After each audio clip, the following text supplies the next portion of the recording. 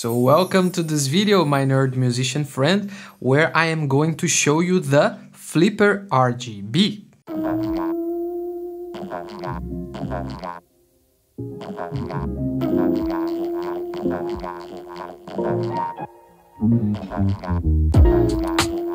The Fliper RGB is a launchpad made with 16 arcade buttons that change color when you play it and also has 8 potentiometers and it was built using an Arduino Pro Micro. It has been a while that I want to build something like that with arcade buttons that lit up when you play it and I couldn't be happier with the result. I am actually pretty in love with this thing here. But anyways, before we go to the building part of this video, where you see me building this whole thing, first let's take a closer look and stay until the end if you want to know how you can build one yourself. Okay, so let's take a closer look. For this controller, I had to find some, let's say, creative ways of doing it because there's no out-of-the-box solution for this type of arcade button. So this is uh, a 24 millimeters arcade button. It's translucent and the way I managed to do the RGB parts, the lights, where you can see it changes color, uh, was using LED strips inside the enclosure. So I'm already designing new PCBs for this controller, so stay tuned for the next version. But for this one, it's totally DIY wires with addressable LED strips. So it is MIDI class compliant. You can see here in my MIDI that I have this controller WOMA so why Woman? Because this is a custom controller. You can see that there's a logo here for a Brazilian DJ. So she's going to get this controller pretty soon. And I made this with the name of her project and it can receive MIDI from the computer. So when you play it, you can get the LED feedback. And if you record, you can see the LEDs actually reflecting the MIDI that's being played, which you can see by the end in the small performance I did. One of the nicest things about this controller is the way I found to do different banks. So for example, we have bank one with drums and I have a button in the side where I can turn the menu on and see which, uh, which bank is selected. So I can just change to bank 2. Now I have percussion and I can change here. I have a synth.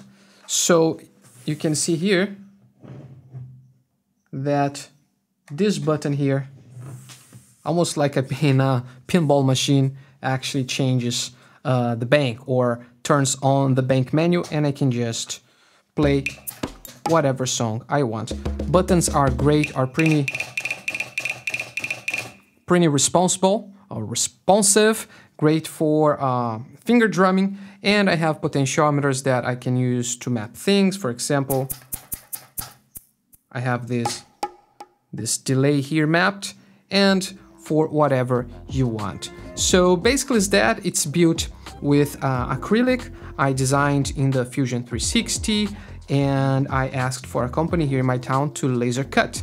And all of those things, how to design and build enclosures, how to make it MIDI class compliant with the name you want, and how to use LED lights, I teach in the Making Music with Arduino that I'm going to talk a little bit more by the end of this video.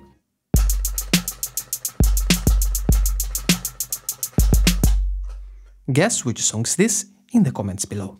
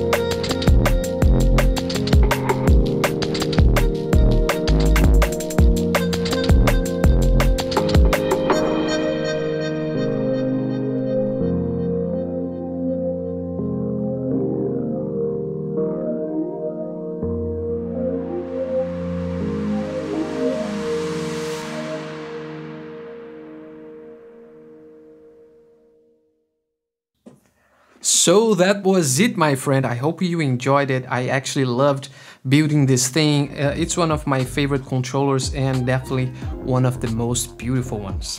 But if you want a step-by-step -step tutorial, a complete guide on how to build these and actually many other MIDI controllers, check my Making Music with Arduino course. In the Making Music with Arduino, I teach you how to build many types of MIDI controllers for a fraction of the price if you bought one in the store. Besides, you can build them in the way you want, so you can build unique instruments that actually doesn't exist anywhere else. We'll help you to express yourself way more having your own custom built MIDI controllers and will help you to save a lot of money building your own things. For example, this one cost me somewhere around $100. Super, super cheap for something like that. And if you're curious to see this in action, I'll leave you with a short performance that I just did. But before, don't forget to give that like if you like this video, subscribe to the channel and leave in the comments what did you think about it and which type of MIDI controller you'd like me to do next. So, see you next video and enjoy!